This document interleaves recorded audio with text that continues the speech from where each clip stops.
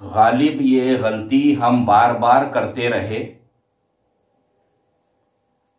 धूल चेहरे पर थी, हम आईना साफ़ करते रहे।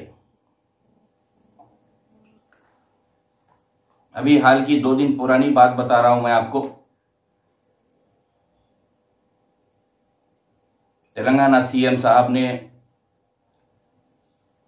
बीसी बैकवर्ड कास्ट के जो आर्टिजन्स होते हैं, कलाकार गवर्नमेंट के पास बजट नहीं है, फिर भी इतने तंग हालात में बीसी आर्टिजन्स कलाकारों के लिए 500 करोड़ रुपए रिलीज़ किया है।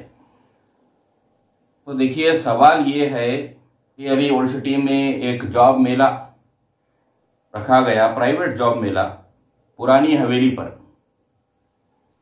अच्छी चीज़ है हम उसके खिलाफ नहीं है, लेकिन मैं इसमें दो तीन बातें आपको बताऊँ कि एक तो गवर्नमेंट का जॉब और प्राइवेट सेक्टर में ज़मीन और आसमान का फ़र्क होता है। अब मैं उसमें और आगे ज़्यादा मैं नहीं जाना चाह रहा हूँ, बस इतना ही बता रहा हूँ कि ये प्राइवेट सेक्टर में जो होता है तो इसमें आपको आजकल के जमाने में तो ना उसकी कोई टाइम होती है। चाहे रात को करो, सवेरे करो, कुछ भी करो।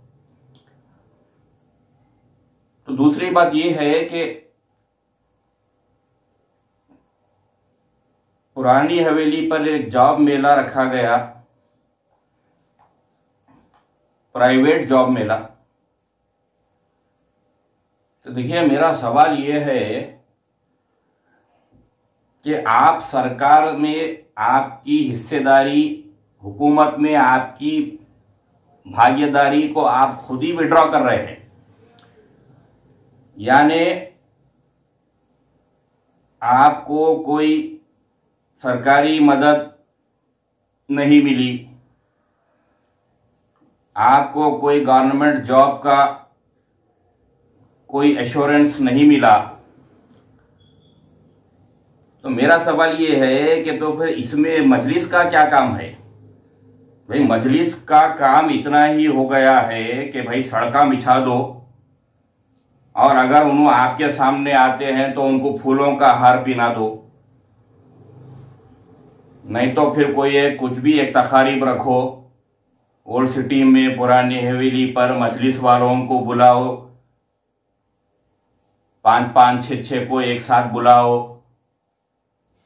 बुला के उनको फूलों के हार पिनाओ तो भाई, मजलिस का काम अगर सिर्फ़ सड़क बिछाना है तो फिर ये तो सदर राज में भी हो जाता। प्रेसिडेंट रूल, गवर्नर रूल में भी ये काम। सड़क बिछाना, लाइट के गोले लगाना, मोहर्रम के इंतज़ाम बोनाल के इंतज़ाम विनायक चतुर्थी, गणेश प्रोसेशन के इंतज़ाम ये तो गवर्नर राजभवन से भी बैठ के कर देते। तो अब आप जो है, यानी आप खुद अपने पैर पीछे खींच रहे हो तो फिर डूबती नैया को कौन बचाएगा? भाई, सड़क बिछाना, लाइट के गोले लगाना, ये बुनियादी बात है, बिल्कुल बेसिक है। ये कोई भी गाँव में, हिंदुस्तान के नहीं, हमारे देश के नहीं, कोई भी, दुनिया के कोई भी गाँव में वो हो जाता। मजलिस ने ओल्ड सिटी को खरसदार, किराएदार और बेरोजगार बना दिया।